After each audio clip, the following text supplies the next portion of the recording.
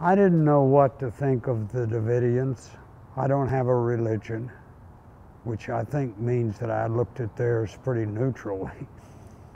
Um, and I brought my wife down to see the ruins. She's Venezuelan. The Venezuelans at the time of the conquest were Indians. She looked at all the, how do you say, ashes, and she said, I never thought I would get a chance to see what your country did to the Indians. And then I said, Sitting Bull died in something like this. And what had happened was he belonged to the ghost dance religion, which believed Jesus was going to come back to the world, cover the earth with a new layer of soil, and bury all the white people underneath it. And the federal government sent cavalry in to arrest him. A gunfight developed, and that was Mount Carmel a hundred years before.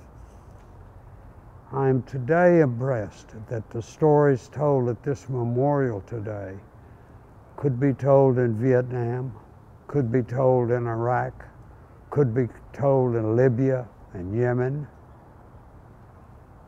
because our government is trigger happy and it moves before it has grounds and it moves with deadly force.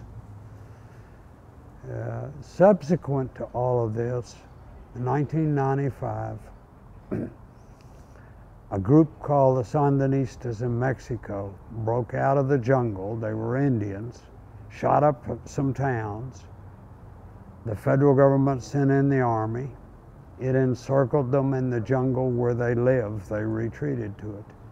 And the Mexican government stood by for three years it says we're not going in to get them because they're children there. That's what our government should have said.